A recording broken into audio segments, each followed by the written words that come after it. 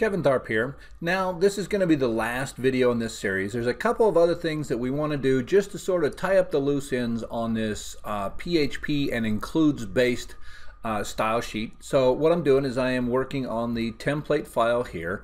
Um, I want to make sure that I have a link to an external style sheet because as I'm using a template, uh, I want to have the styles apply to uh, a number of different pages. So what I'm going to do, uh, again, just like I created the includes folder earlier and the templates folder, I want to come up, to the root of my site and I want to include, include a new folder called CSS. And this is where I'm going to store all my style sheets when I'm working with this.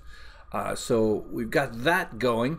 Now what I want to do is I want to go ahead and create a um, a document to go into that CSS folder. So I'm just going to do a file, new uh, CSS document, and that doesn't have to have a whole lot of code in there.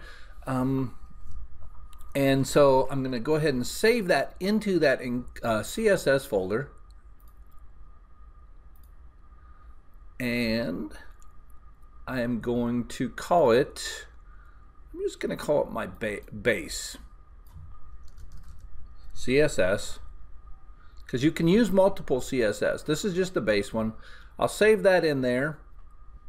Uh, then what I want to do is I want to come back to this template and I want to make a link to that um, to that CSS. So I need to come inside the head tag and I need to create the link property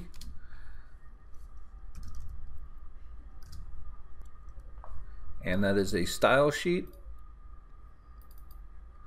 and then I need to do the href. Now this is where we again need to use a root relative because the, the, the documents from this could live anywhere. So as I'm doing my href, I want to do forward slash, which brings it to root relative or brings it to the root first. Then it's going to be CSS to get into the CSS folder and then base.css. And that way this link to this CSS uh, file will work from anywhere. And then the other element is type equals, and then I close that link. And since I don't have anything, those styles apply at this point. But now any page that I create from this is going to have that link. So I'll probably want to, uh, once again, erase over the PHP document that I had stored in my index.php. Um, the other thing that I want to do is I want to make sure that in my navigation, as I'm going forward that I am using these root relative URLs. So if I'm going to uh, have a home page, uh, what I want to do is I want to create a, uh, an anchor to that. Oops. Let me just move that out of the way so it's not. Okay, so I put that forward slash in there. That makes it a root relative uh, link to just the index.php page, uh, in this case to the home page, and then uh, that will always be a link to that home page no matter where it is. Now if I was uh, creating a second one and I was going to some other page, then I would need to do the forward slash and then the path to that page, whether it's just a file name or a uh, path through folders and file names uh, and then that will apply to the pages that we're using. So I'll just save that and close it. Now the other thing, really it, it comes down to uh, just thinking about what's going on now. So I'm going to have a header.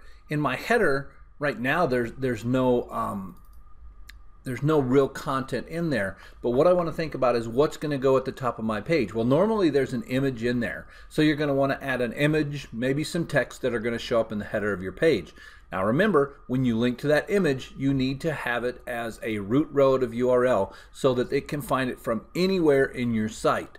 Um, so that's that's an important thing to think about. So as you go forward, start having fun with this. This is the base that will allow you the ability to go forward and create massive sites uh, and then have the ability to just update those in one place and uh, synchronize it all and and make it happen. So uh, as we go forward, one last look at what we've done.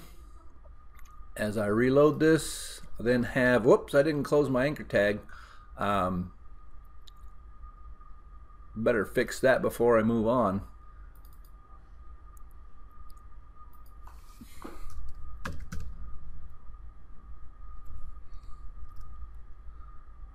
I'll just upload that one.